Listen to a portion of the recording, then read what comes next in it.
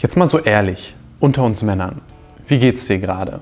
Ich meine, wie geht's dir wirklich? Mir ist manchmal einfach alles zu viel und ich weiß als Mann manchmal nicht, mit wem ich darüber sprechen soll. Und wenn dir das vielleicht auch so geht, dann bist du hier genau richtig.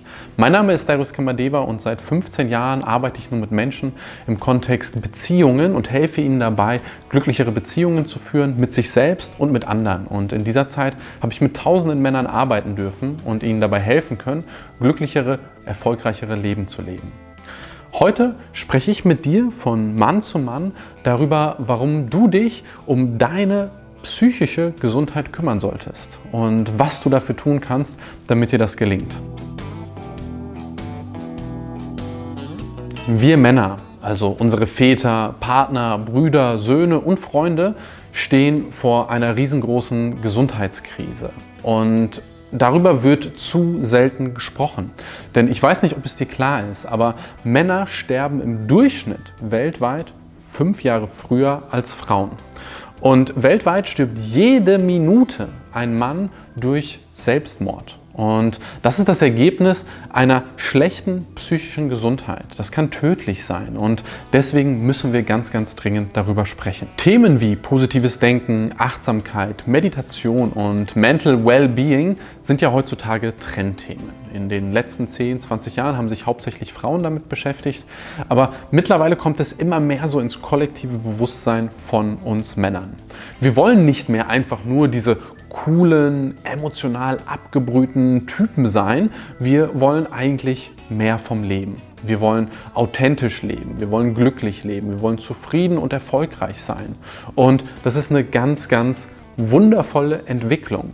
Leider gelingt dieses Ziel zu erreichen nicht allen Männern. Um ehrlich zu sein, gelingt es sogar sehr wenigen Männern. Und das halte ich für ein großes Problem. Hier in Westeuropa, wo ich sozialisiert wurde, wo du vielleicht auch sozialisiert wurdest, wurden wir auf eine Art und Weise erzogen, die sehr viel Druck macht. Wir sollen immer finanziell erfolgreicher werden, wir sollen immer mehr Geld verdienen, wir sollen immer mehr schaffen.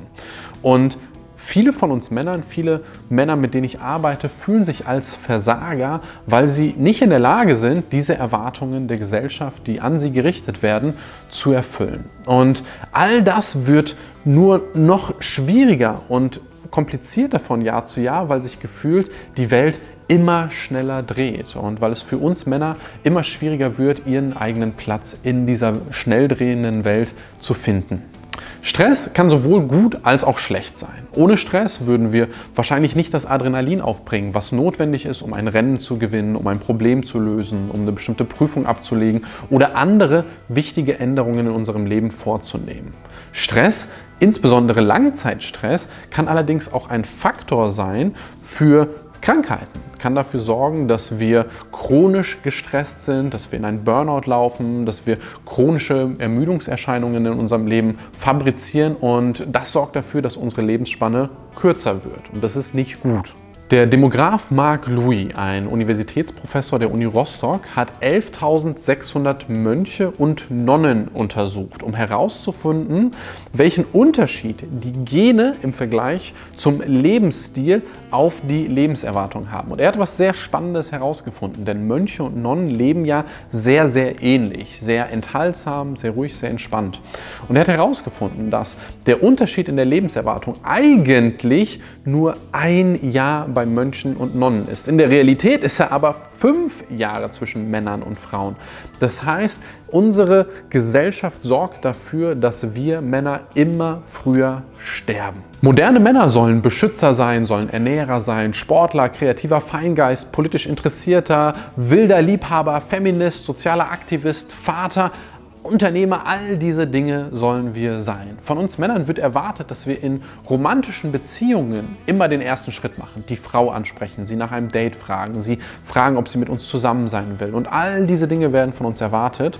Dabei wird aber nicht bedacht, dass wir Männer zwangsläufig durch diese Erwartungshaltung an uns auch immer mehr Abfuhren bekommen als Frauen. Diese Abfuhren sorgen für einen emotionalen Stress, für eine emotionale Belastung, von der wir Männer meistens nicht gelernt haben, wie wir mit dieser umgehen sollen, wie wir diese Zurückweisung verarbeiten sollen. Und dieser emotionale Ballast, bestehend aus Verletzungen, Unsicherheit, Angst und Scham, wird dann von uns versteckt, unter den Teppich gekehrt. Wir schauen weg und ignorieren ihn. Und viele Männer versuchen dann dieses negative Gefühl, was sie in sich drinne haben von all diesen Verletzungen, durch wirtschaftlichen Erfolg zu kompensieren. Sie versuchen ihren eigenen Wert in der Gesellschaft durch ihren Erfolg im Job zu kompensieren. Und das mag für ein paar Jahre vielleicht funktionieren, meist nur bis zum Burnout, aber für ganz viele Männer hat das ein riesengroßes Problem, weil sie ständig das Gefühl haben, sie sind nicht gut genug, weil ihnen das die Gesellschaft einredet, weil sie sich das selbst einreden. Und dieses ständige Gefühl des Nicht-Genug-Seins, dieser Minderwertigkeit, ist eine Belastung für unsere Psyche, für unsere Seele. Männer müssen sich ihren Freiraum erkämpfen. Wir müssen neu entdecken, was es für uns bedeutet, männlich zu sein in dieser modernen Zeit. Vielleicht will ich gar keinen Managerjob mit dickem Gehalt. Eventuell will ich gar kein muskelbepackter Beschützer sein.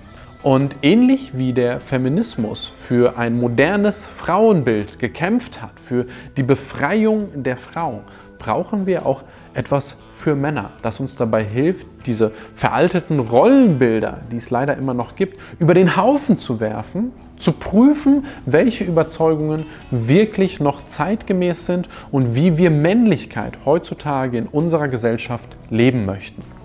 Dass wir heutzutage in einer Zeit leben, in der du und ich uns frei, vertrauensvoll über solche Themen unterhalten können, das ist für mich einfach ein Wunder. Früher ging das nicht. Früher war das nicht männlich. Und unsere Gesellschaft, also der Zeitgeist, in dem wir heutzutage leben, ermöglicht uns ganz individuell unsere eigenen Chancen zu entdecken, zu leben und ein Leben zu leben, das so ist, wie wir es wirklich haben wollen. Dafür haben ganz viele Männer und Frauen vor uns gekämpft. Lass uns diese Männer und Frauen ehren, indem wir unser Leben auf eine Art und Weise leben, von der sie nur haben träumen können. Stress dich bitte nicht, wenn du nicht dem klassischen, normalen Männerbild entsprichst. Jeder Mann hat es verdient, für sich selbst zu entscheiden, was einen echten Mann ausmacht und wie er dieser sein möchte. Das ist natürlich oftmals leichter gesagt als getan. Und deswegen habe ich im nächsten Video drei hochkonkrete Übungen, die dir Schritt für Schritt erklären, was du heute noch tun kannst. Und ich hoffe ganz, ganz inständig von ganzem Herzen, dass dir diese Videoreihe dabei hilft, mehr Klarheit darüber zu bekommen, wie deine psychische Gesundheit vielleicht belastet wird und was du tun kannst, um eine höhere Lebensqualität zu gewinnen. Ich hoffe, ich konnte dir mit diesem Video hier einen ersten Vorgeschmack, eine erste Richtung darüber geben, wie du mehr Klarheit als Mann über deine psychische Gesundheit gewinnen kannst und dich dazu motivieren, etwas achtsamer mit dir selbst und deiner Gefühlswelt umzugehen. Schreib mir gerne in die Kommentare, wenn du Fragen dazu haben solltest, dann werde ich mir Mühe geben, all diese Fragen zu beantworten. Stell auch sicher, dass du die anderen Videos auf diesem Kanal hier schaust, denn da gibt es noch ein paar andere spannende Videos rund um das Thema Gesundheit und Bewegung.